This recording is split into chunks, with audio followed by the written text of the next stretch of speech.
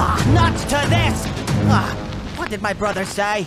Now remember, bro, no more violence! Unless it's a boy with a red cap, blue hair, white shirt. Then now go freaking wild. Oh yeah, good old reliable Mugman.